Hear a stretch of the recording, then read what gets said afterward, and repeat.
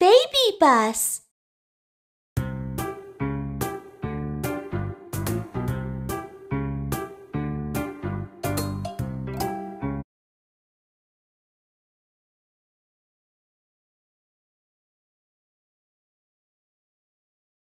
When an earthquake strikes, the ground starts shaking in many different ways. The houses that are not sturdy enough may collapse, causing great losses.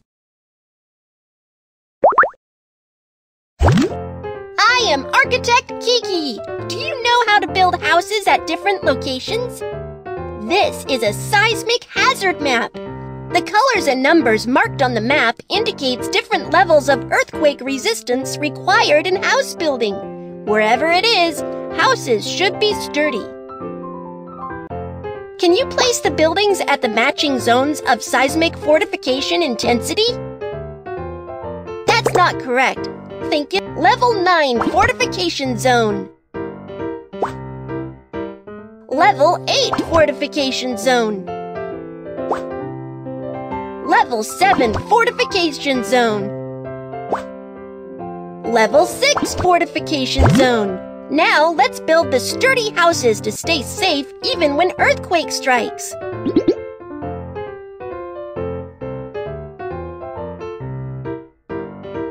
Villa.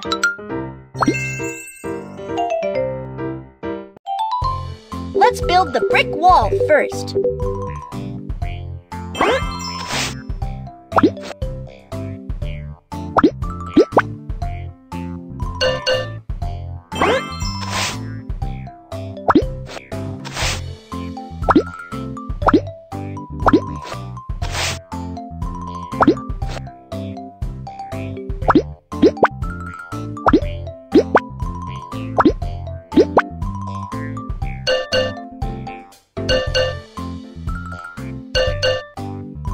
Scrape off the excess cement.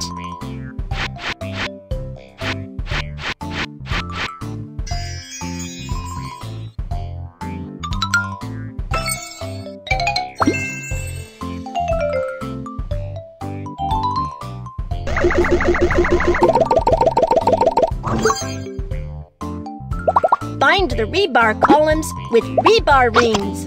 Fix it in place with steel wire.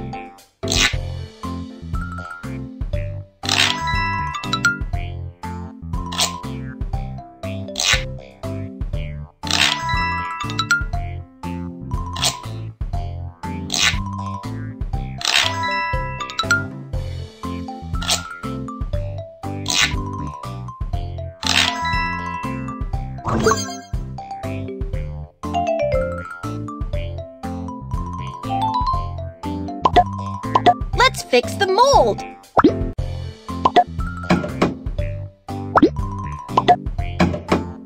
Fill the steel reinforcement cage with concrete to make a sturdy constructional column.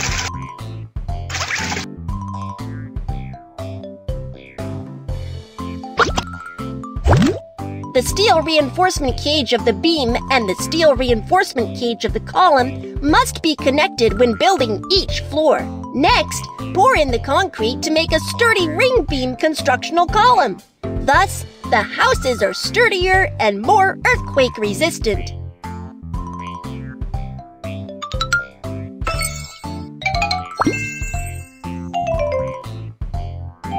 Pick a roof you like.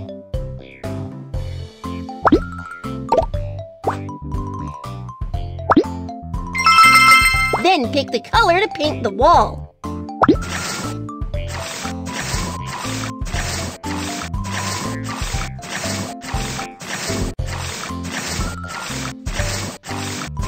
The villa is built. Great job!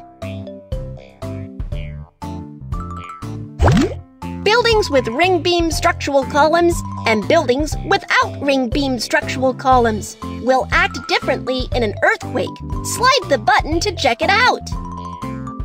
Small earthquake.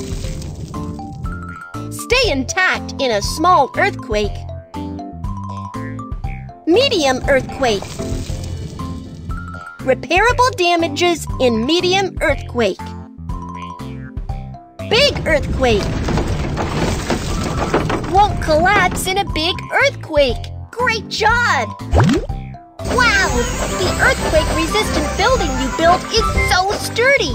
Amazing! Keep going!